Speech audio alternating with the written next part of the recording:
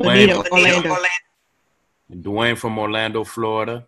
Hey, Dwayne, Orlando, Florida. I see TJ from Charlotte. Who else do we have on the line? Hey, Camille, Tracy in Atlanta. Hey, Tracy. Good morning. Who else is out there? Jayla Hicks from Orlando. Hey, Jalen. Good morning. Who else is out there? Tanya from Atlanta. I heard Atlanta. Who else is on? Priscilla from Indiana. Hey, Priscilla. This is Effie from Atlanta. Hey, Effie from Atlanta. China from Atlanta. Hi, China from Atlanta. Who else is out there? Lorraine from Atlanta. Atlanta representing. Who else we got? Tanya Latoya from Atlanta. Atlanta. Hey, Latoya. Jackie from Las Vegas. Hey, Jackie. Hey, Jackie. Who else? Atlanta. All right. I see Dominique from Orlando. Orlando. Okay. Who else we got? You got Jamie here in Saudi Arabia. Y'all giving me so much life this morning, like for real, for real. I see Vegas, Atlanta, Seattle, Miami. Hi, this is Siluendo from Zambia. Yes. Siluendo from Zambia. Zambia. Hey, good morning. All right, let's see who else we got out here. I see You got Jamie here Saudi Arabia. Let's get it. Saudi Arabia. Let's get it. Who else we got? I am Onalena from Botswana. Oh, Botswana on the line. Good e- good morning. I see um Tony Hightower. I just saw you jump on here. Um Kalia from Atlanta. Let's see, Grace from Dallas, Chicago, Sydney, Australia. All right, I'm loving it, you guys. So um who else we got? One more a few more seconds. Tradina from Detroit. Hey Tradina, excited to meet you in two weeks. I think we're gonna Yes. be in Detroit. Yes. So I'm super, super excited. So let me go ahead and mute the lines out really, really quickly so we can jump in here.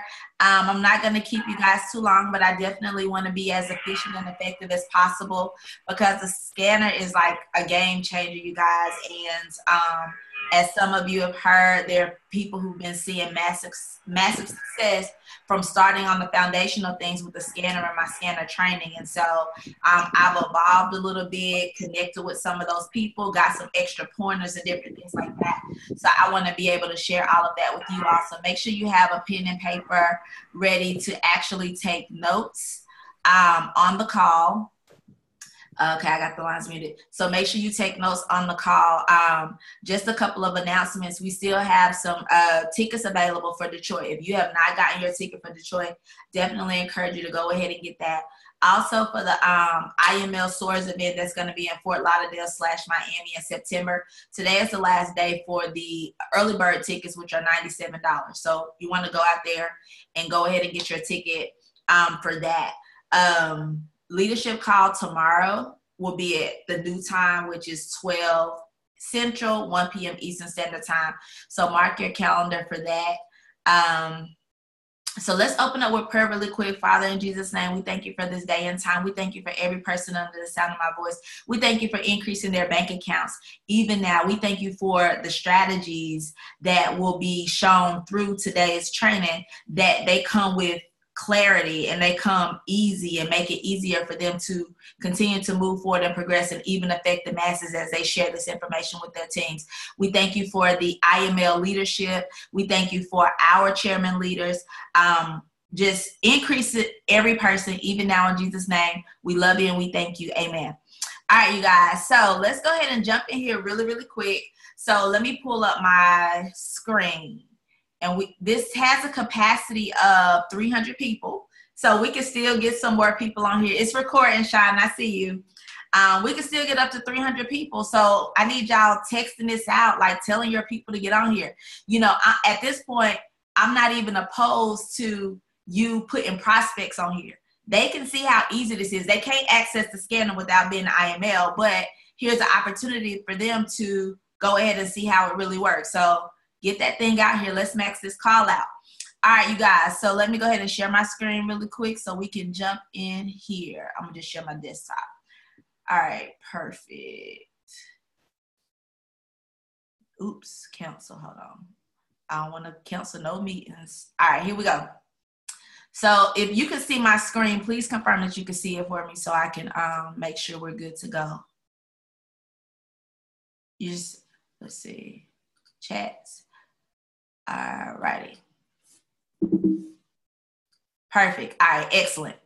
All right, let's get it. Let's go. And I probably won't be looking at the chat too too much. I'm gonna try while going through it, but I'll make sure to try to answer as many questions as I possibly can. So basically, with this harmonic scanner training today, um, I'm giving you those basics. So make sure you have your pen and your paper um, readily available to take some notes. We'll ask some questions um, answer some questions and all that good stuff. So the first thing is your harmonic scanner setup. So there are going to be some indicators I'm about to show you all here shortly. Um, but the main things that you're looking for. So take a screenshot of this, take some notes, all that good stuff. There are a couple of things you're looking for. You're looking for the D and the entry line connection. Like the perfect setups, honestly, to me, are when that D and that entry touch or the D crosses through the entry. Like not the D getting close but not touching. Now, honestly, I do enter some trades like that, but it's some indicators that I use that I'm actually going to be showing you that help me make a conscious decision. So you're looking for the D and the entry line to connect. You're looking for a candle to touch the D. So in in essence, the D, the candle, and the entry line are all touching at some point, okay? And then you're waiting for the candle after the D to move, the candle after the D to move in a strong direction of the trade. So you're not entering the trade once the candle touches the D, you're waiting for the next candle to form. And it may be the next candle, it may be the next next candle. So we'll kind of talk about that and look at some examples. So I took this screenshot this morning. I just went on the scanner so I could kind of pull something up to kind of show you what I just explained.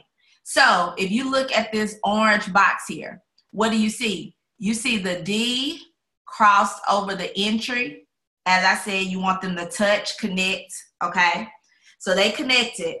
But then you also see this candle touched the D. So even though there's a wick here, a wick means the price got to that point. So the wicks count when you're looking to see if the D actually touched, um, if the candle touched the D. So wicks count. It doesn't mean touch and it's a solid candle on it, just a touch. So it so for me, when I am scanning the market, this is this orange box is the first thing I'm looking for. Okay. So I'm looking for that D and that entry, and I'm looking for the candle to touch the D slash entry, if you will. So once I see that, that puts this particular pair on my radar to watch for a potential entry. Okay. So what do you what you do next is wait for the next candle to form. Now, when that next candle forms, you don't enter that trade immediately you want to wait to see if the candle goes in the direction um you want to see if the candle goes in the direction of the trade. So remember when you're looking at the d if the take profits sorry hold on. Okay there we go. If the take profits go above the entry you're looking to buy. So you're going to be looking for a blue candle. If the trades go below you are looking for a sale and you're looking for a red candle. So I'm going to actually pull up the real scanner so that we can, you know, kind of look at those. So honestly, you guys, when I'm entering a trade, that's all I'm looking for. I'm looking for that D entry, the candle touching it, and then that confirmation candle. And that's the main premise of what I use to determine if I enter a trade. So even with this example here, once this candle turned a pretty solid blue, if I was watching it, more than likely I would enter that trade right about here. Okay, so I didn't even get in at the entry because I wanted confirmation first. So I probably would have gotten in this trade right about here. And then as you can see, this trade went straight up to take profit. And then by the second candle, it hit take profit too. Now, this is a 15 minute, let me confirm it up. Okay, yeah, this is a 15 minute chart. So each of these candles represent a 15 minutes. So literally in like 30 minutes, you could have got from an entry to take profit two. And then all these candles about here, it hit take profit three. So that was probably, let me see, from this entry, if you got to take profit three, that was one, two, three, roughly four hours before you got to take profit three. So that's literally what I look at where that's concerned. Now, what I am getting ready to show you next when I pull it up, these are other indicators that you can use. And I use these indicators on the scanner. So anytime I pull up a trade, I add these indicators. Um, unfortunately, I don't know how currently to make it just automatically pop up when I navigate between different trades. So I have to, I literally add it every single time that I go to a new trade. So I use the Bollinger Bands and these indicators you can do some additional research on. I'm not going to go too in detail what these indicators do, how they operate, but I will tell you the premise of the indicators. So basically with the Bollinger Bands, they act as big rubber bands. And if you look at Bollinger Bands, you notice that the price generally stays within the Bollinger Bands. Um, if a Bollinger, if a, the price goes outside of the Bollinger Band, it's definitely potential. Excuse me, somebody's writing on my screen. Hold on. There we go. Okay, sorry about that. All right, so um, with the Bollinger Bands, and I'll show you this on the chart, the price generally stays between those bands. So it's three different lines that represent the Bollinger Bands. So they all act as forms of support and resistance. So when I'm using the scanner and I'm getting setups, I'm also seeing where the price is in conjunction to those Bollinger Bands. That helps me determine if I'm going to pick take profit one, two, or three. So we're kind of going to go over that. Now, RSI and stochastics, these um, two indicators help you see whether a market is overbought or oversold. So if it's overbought, that basically means it's almost opportunity for a sale. If it's oversold, it's almost opportunity for a buy. So that's pretty much those indicators. So let me go to the actual harmonic scanner. Okay, here we go. All right. So this is actually a um, the scanner in real life. And so what I did was um, this was a trade I was looking at. Um, with this particular trade, you can see that the D crossed over the entry. You can also see um, the the candle touch the D. So you're waiting on this candle. Now this candle has pretty much just been um, red. So I wouldn't technically enter this trade yet. But one of the things that I look for, if you look at the RSI and you look at the stochastics, um, it's, it's kind of in the middle. Make note of this. On the RSI, if the price, this gets below 30, it's a strong indicator that it's about to go up. If it gets above 70, it's a strong indicator that it's about to go down. So looking at this, I'm just like, I'm not going to enter this trade yet. Don't make it too hard, you guys, with this part. Now, if these indicators are too much, honestly, focus just solely on the D, the candle, and all that good stuff. Okay. But these just kind of help you see what the market is doing currently. And then even with stochastics, it's the same concept. If it's under 20, it's in a position of being oversold, so it's a potential for up moving up. If it's over the uh, 80, it's overbought, so it's a potential for a sale. So for me, I'm just going to still continue to watch this because it's in the middle. Now, as far as the Bollinger Bands are concerned, you can see that the price point here is um, inside the Bollinger Band but you can see here the Bollinger Band is really short here. So to me, this tells me that the price has potential to get about here. I doubt it's going to go at this point to take profit two and three. Now, as time goes on, if this Bollinger Band expands, it can grow. But for me, if I was to enter this trade, I would do take profit one based off of what I saw with this Bollinger Band. But at the same time, I would wait until I got some confirmation that the price was going up using the RSI and using the stochastics. Some people don't use RSI and stochastics. And remember, this is just what I do. Um, I've seen a lot of success from it. I've seen some people with a lot of success from it. Um, so I wouldn't, you know, pick and choose and alter accordingly. So as I stated, like like I said, I'm still watching this particular trade So you see another red candle here. So for me, I still would not have entered this trade yet. I would still keep watching it, but I'm not at a point of being comfortable with entering it. But let me go ahead and pick another pair so we can kind of see if we can find something. And I know it's the 4th of July, so I don't really trade on the holiday. So I'm not going to enter any trades, but if you see something and I, you know, you feel like you want to enter it, it's totally up to you to enter it. Now on the left side of the scanner, you see different um, brokers. I definitely recommend trading your broker, but they're kind of similar. The thing about the reason you have different brokers is because brokers have different spreads, brokers have different um, prices. Um, the prices are close, but they could be off by a couple of pipettes or something like that. So me and Sean can enter the same trade, but we got two different brokers, and Sean hits profit before me because of factors such as what his entry point was, what his spread is with his broker, you know, and different things like that. So I trade with JFX, so majority of the time I use JFX for um, my trades. So um, here, oh, it actually stays. Maybe something happened while I was on here. So let me zoom in here a little bit. Here's an example so we could just kind of look at it. So this is one of those examples I said that is kind of, it didn't touch the D, but when I saw this candle touch the D and I, I recognized my Bollinger Band, that was one confirmation for me that I would potentially enter this trade. But then I waited, I would have waited for this second candle to form, start forming before I enter the sale. And at that point, just rise. So you can see literally within about an hour, it did go from up here to your take profit one. Looking at the Bollinger Band, it may or may not hit take profit two.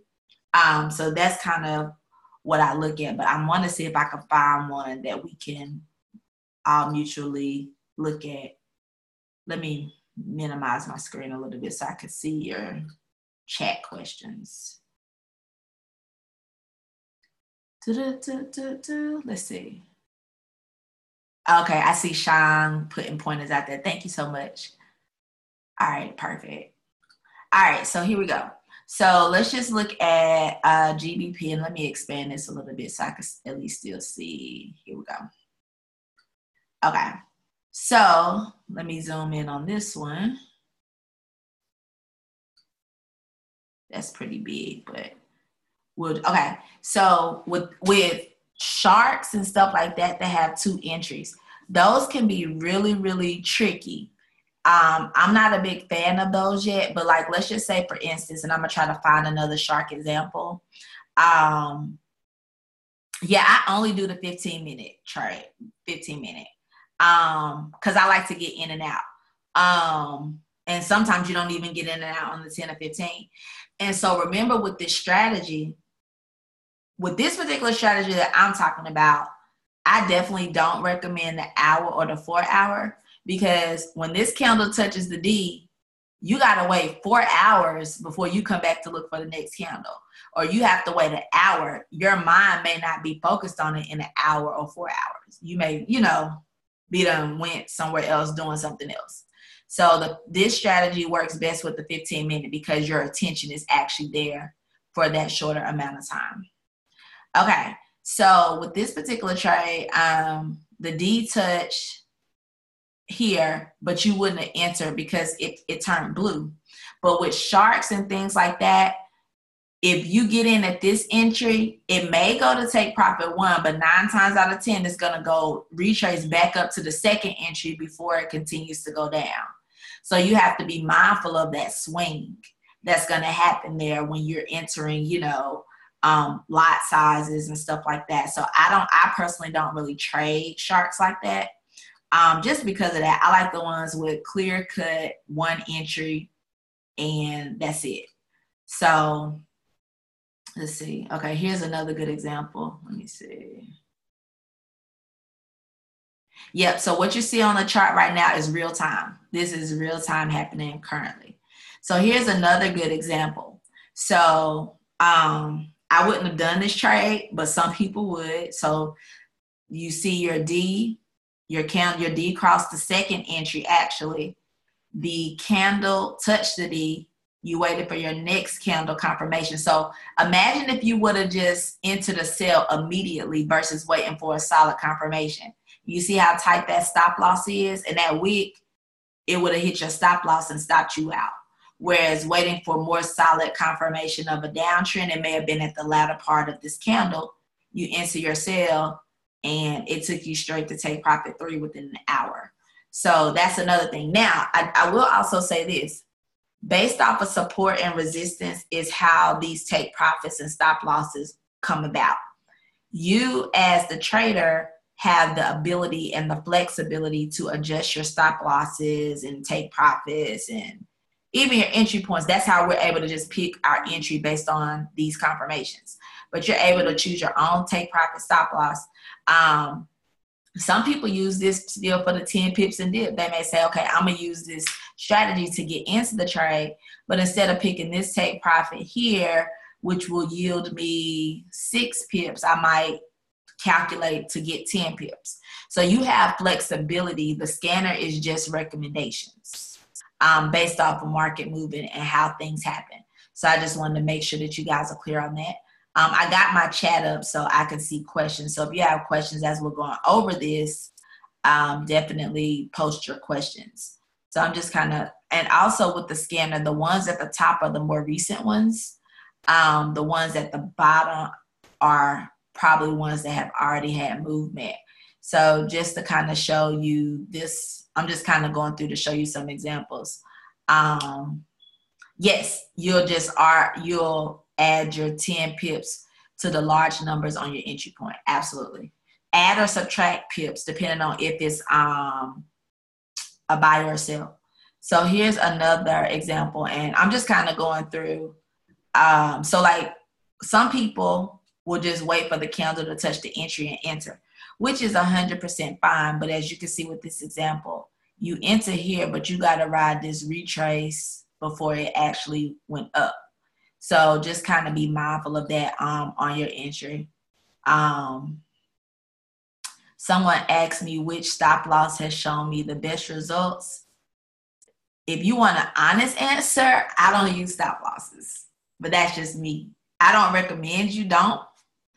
Um, but I can say honestly, I've never really seen, unless the trade was just a, like news or something affected the trade, I've never seen any of the scanner trades go more than like negative 20 or 25 pips. Um, so, all right, so here we go. So you can see that drawdown there, but if you wait for that candle to touch the D, even though it's crossed the entry, wait for that confirmation here and then enter. So in this particular trade, it took you straight to take profit one but then there was a retrace there. But remember that Bollinger Band even showed you that it would get to this point. So that's another thing to be looking at. So I definitely use the Bollinger Band to help me determine, as I stated before, which take profit I'm going to push for. Um, no, the second candle does not determine whether it's a buy or a sell. So let me kind of break this down. Okay, so you see this entry here. Okay, so you see this entry here. You see your take profit one, take profit two, and take profit three. So because your take profit one, two, and three are above the entry, that is an indication that this trade is a buy. Because as you move towards the take profit one, the price is going up. So you're buying. Take profit two, the price is going up. So the candle after the D, if this, you look here to see if it's a buy or sell first. So the candle after the D, that lets you know that you're looking for a blue candle because blue represents buy, it represents bullish. So that's what you're actually looking for on the harmonic scanner, a blue. Now on the flip side, and I'll see if I can find a sale representation, um, if the take profits are going down below the entry, that means that it is a sale, and that means that you're looking for the second candle to actually be red for a um, bullish market. I mean, a, a bearish market. My apologies. So, like for example, here, this is actually a good one. What time is it? I was trying to see if that was a candle that just came. So this is actually a good example. Um, it's a shark, so I probably wouldn't have traded this, but we talked about this a few minutes ago. So the D hit the candle hit the D, the D crossed the entry, waited for this candle to form. So this candle, I would technically enter a sale currently because this candle was, you know, stayed blue majority of the time. I wouldn't have entered, but now this is a solid red candle, which for me is an indication of a sale from based off of the Bollinger Bands. Um, I know it will at least get to take profit one. It may not go to take profit two. Okay. But then I look at my RSI and my stochastics, they're both pointing down, which is a sign of going down. So this would be an indicator for me to actually enter the trade. All right, let's see. Reading your questions, guys. Um, someone asked if I've used scans off the downloaded version of the scanner or only this one. So I actually have the downloaded version as well. Um, and the only reason I use the downloaded version is to get alerts when I'm not on the web scanner. So once you download the scanner, if you have a computer that you can keep up like all the time, you can set up like email alerts um, to go to your email. But then through your email, you actually set up forwarding. So I get text messages via email whenever the the the downloaded scanner sends me stuff. So when I get that in that that notification, I just come on the web scanner to look up the trade. Um, so you can see that in your back office. If you go in your back office under Harmonic Scanner, if you're interested in downloading that, it gives you instructions and all of that. And then I just YouTube the video on how to set up alerts um, for that. Um, let's see.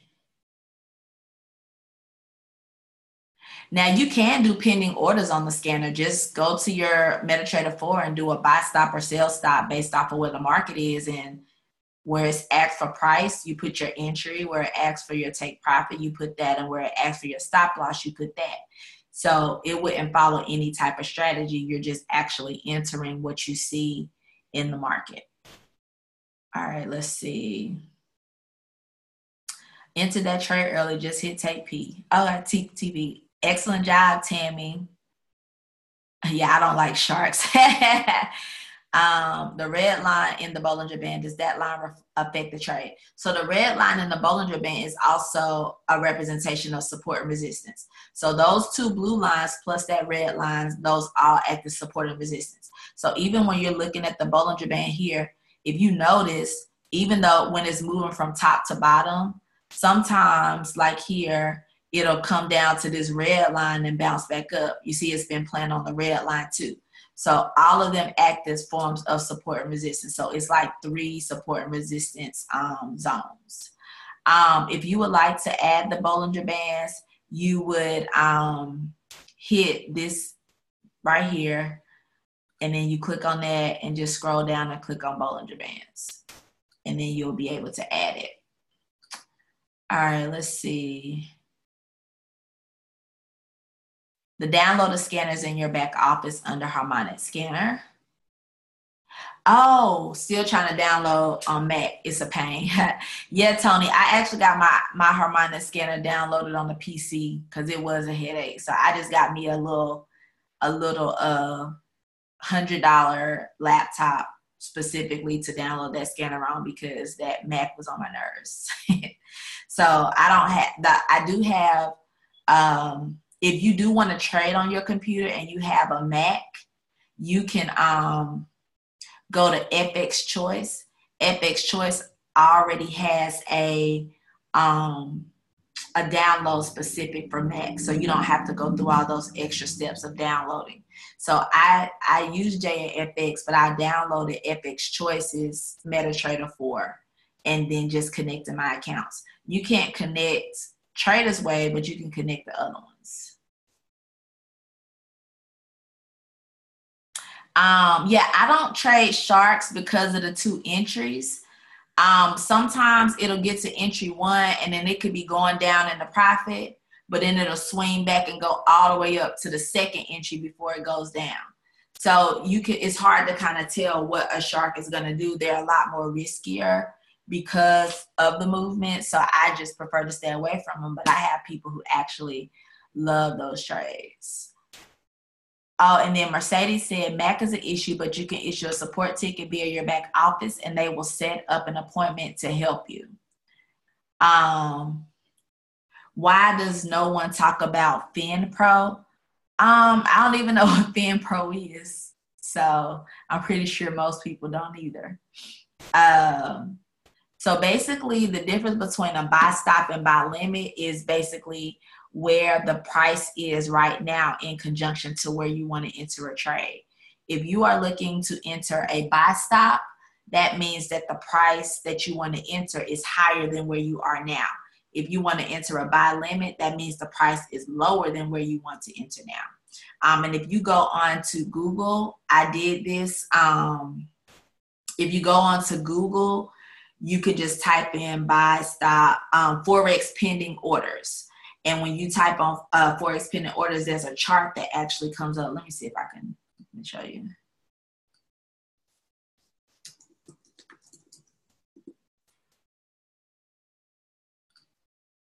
Here. So if you go here you can see buy stops buy limit sell stop sell limit.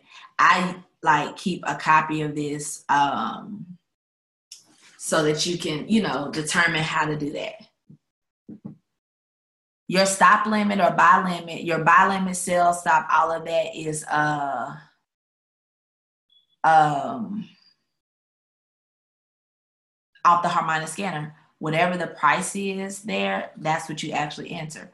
So on this particular trade, let's just say you wanted to enter a sell stop and the market's here your sales stop price will be this entry because it's lower than where you are. Um, yep, 14 is the preference for the RSI. Um, I don't really trade the cloud with this. I'm sorry, a lot of questions coming through, so I may miss some. Um,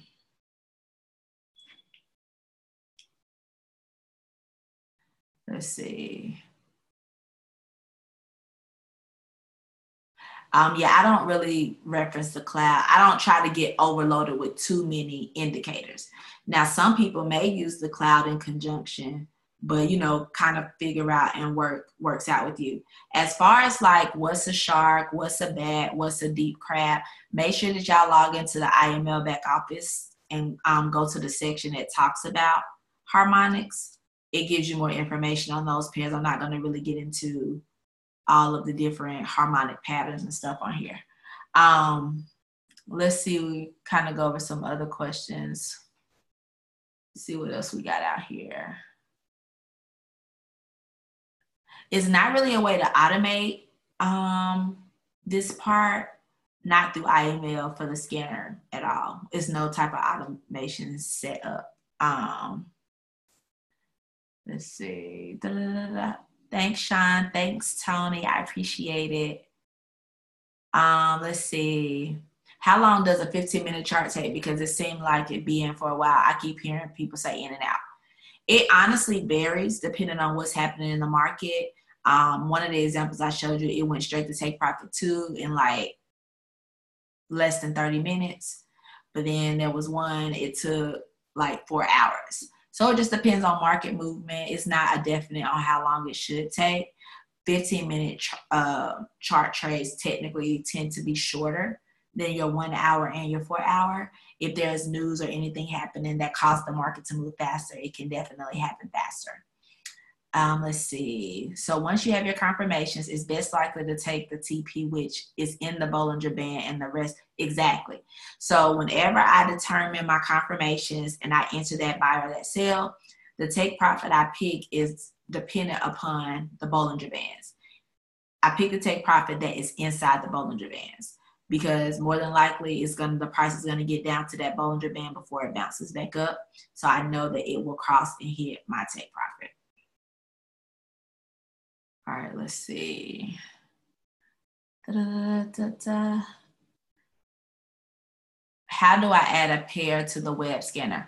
Oh, so you don't add pairs to the web scanner. So what happens, the scanner scans the market for those major pairs. And if there is a setup based off of the harmonic patterns, it will automatically pop up, but you're not able to like just go in and add trades. I mean, add pairs and stuff. Um, let's see. Okay, yeah. So if you look here at the top, I'm answering the question from Stephanie Allen. Okay, so if you go here to the top left, it's the uh, one next to the pinwheel that has like the charts. If you click on that and just scroll down the Bollinger Band, it actually pulls up all the indicators um, that you would like to enter. Um, yes, it is definitely re- recorded. Um, I'll get that posted out to you. Um, yeah, if you pull up a chart and it has several candles past the entry, um, as far as if it's too late to enter, it's definitely going to be a personal decision. Um, for a brand new person, I personally wouldn't recommend it um, just until you get a little bit more savvy. But if you've been trading for a while, you may want to look at um, you may want to look at where the prices in conjunction to the Bollinger Band. Like if I had just pulled this trade up and it wasn't a sharp and it was right here above the entry and I see it's going down, I see the Bollinger Band. Me personally, I would enter this trade. But like if it's already broke entry, it's already here to take profit, like all of that, I just will wait for another setup. Um, now, I know somebody earlier asked about the one hour, four hour, all of that. Now, those um, actually do as well work. They're just longer, so it just depends on your level of patience um, with it. Um, let me see.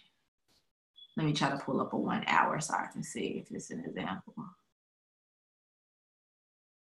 So, like with this one, it's kind of a iffy situation. I probably would have entered this trade, um, even though it's in a strong, um, even though it's in a strong, well, it's not in a retrace, but as you can see, it came, the price came out of the Bollinger Band, which is a strong indicator for me that the price is going to drop. So when this candle formed red, I would have entered the sale. So it broke take profit one, it got close to take profit two, and close to this middle Bollinger Band which it could have broken or it could have bounced back up. So as you can see, it got close but went back up. So now it's back up riding the top of this Bollinger Band. Now this is going to drop. I can't say when, but it's back close to the entry. It's gonna drop. The Bollinger Band is wide and it's spanning all the way to take profit three.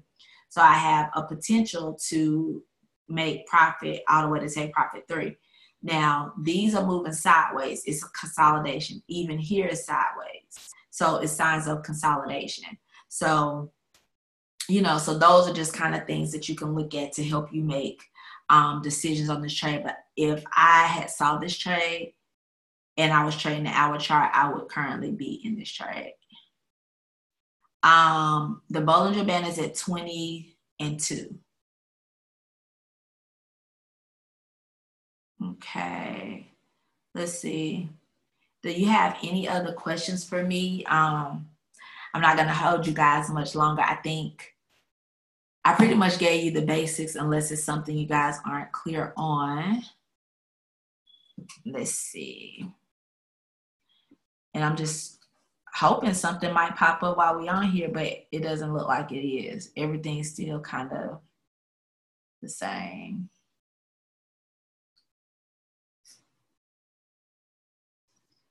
See. Yeah. Um. Yeah, it's very, very simple. Very, very simple. Um, honestly, any laptop, I definitely recommend a PC just to not have to go through the headache of it because the scanner can only be um well, it can be downloaded multiple ways, even for a Mac. It's just too many extras. So I would recommend if you have a PC that you're willing to buy to get that. Let's see. Somebody said if I could only undo the GU miss. Um, as far as the Bollinger Bands, you look at the outer Bollinger Bands. Yes, I look at the outer Bollinger Bands. Absolutely. Thanks, Kevin. Happy Fourth to you as well. Let me see what other questions we have out here. how do you determine to stop a trade? It's up to you. Um, if you're in profit and you're cool with your profit, then you can just close the trade. If you are in a loss on that particular trade and it's more than you can handle, then close the trade in the loss. It's better to take a L than to um, keep it in and it still continues to go against you and blow your account. Now, I definitely recommend using excellent risk to reward, making sure you have proper lot sizes in conjunction with the number of pips so you know ahead of time. So if you haven't already, make sure you go to my YouTube channel. I have a video out there talking about risk to reward so that you can use that to determine what your lot sizes should be in conjunction to the number of pips you're risking so that you you know where you are when you're actually entering a trade. Um, the chart pretty much focuses on major pairs. Um, I do see some exotic pairs here and there, but it's um, majority major pairs. Um, let's see, reading the questions. Da, da, da. The, the recording will be on my YouTube channel, but it'll also be posted in the app. Um, let me see. I, I thought I answered this question. The stop limit is not about it's not stop limit, or are you talking about stop loss? And if you're asking about your stop loss, you determine your stop loss based on how much you're willing to risk in a number of pips based off of your lot size. So um, I would recommend going back to my video if you're unsure of how to do that. Um, that's a whole nother teaching in itself. Um, I did a video probably like two weeks ago. So if you just go to Camille Westmoreland on YouTube, it'll pop up. Um, it's a Forex 101 um, that was done in June. So look for that and watch that, and that can definitely answer, answer that question. All right, let's see. Yep, for the Mac FX choice, it is. So basically, the Bollinger Bands are like rubber bands. The price stays in between the generally stays in between the Bollinger Bands. So it'll get down to one, bounce up to another, bounce like drop down. You know, it stays in between the two. So the Bollinger Band is definitely a great indicator of where price is and if it's indication of if it's going to go up or not. Um, somebody said, when's the next training? I don't know.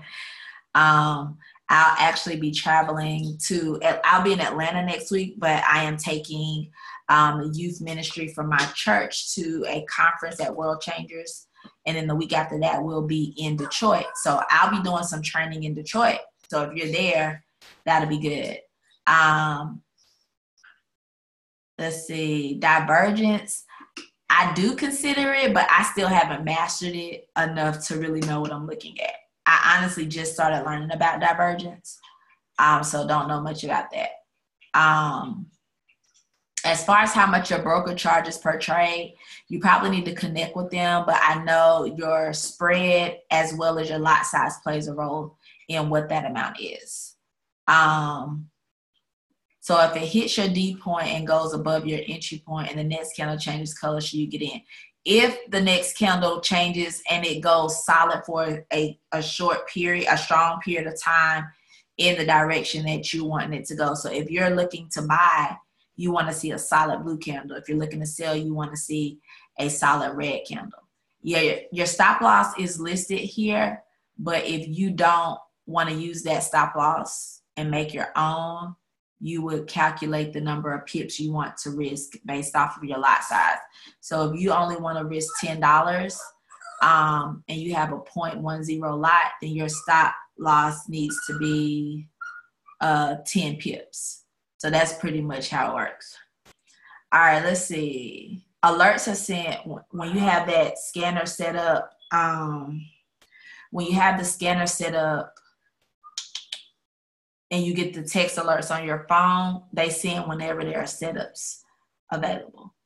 Um, yeah, most people in the beginning stay at Take Profit One, and then you know you gradually evolve from there. Um, as far as a place to go to determine the best bro- brokers, honestly, I don't know. I like JFX because I am studying crypto And right now, that's the only broker I know of that allows you to trade cryptocurrency. And they also allow you to, um, they also, I'm sorry if y'all hear my puppy whining in the background. I try to keep him asleep until this is over. but, um, oh, a Daisy Duncan has training on choosing a broker. So you can read um, that. Yeah, people could trade tomorrow morning. Honestly, I trade the scanner mostly during the London session. A lot of movement happens in a London session and New York session are great sessions and opportunities to trade the harmonic scanner. Um, let me see.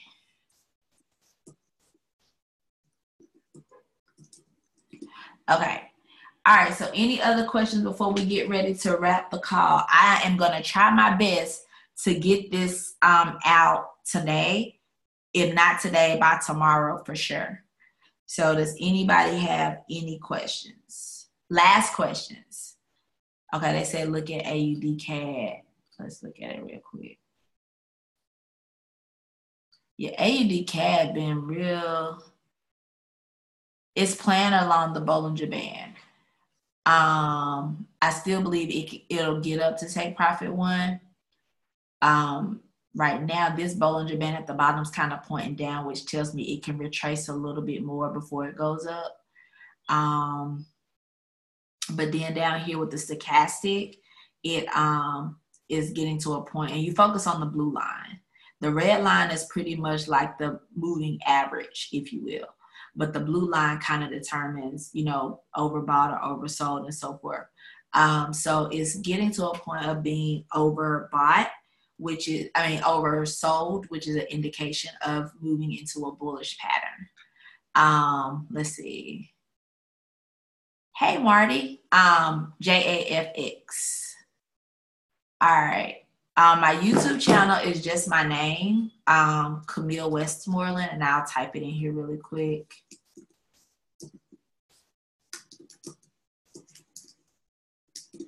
Okay, so there. Awesome. Hey, Sharita, thank you.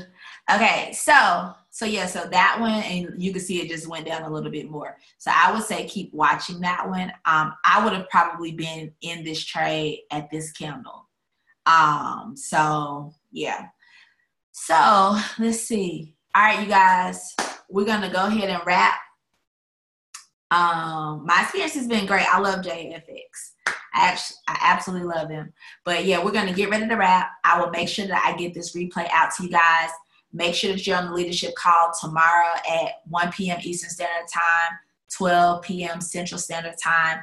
Enjoy the fourth. Make sure you prospect and pull out your phone and do some trades around your family while y'all by the pool and all that good stuff. And let's make it a great day. Enjoy the rest of your holiday, and I will see you guys on the call tomorrow. God bless.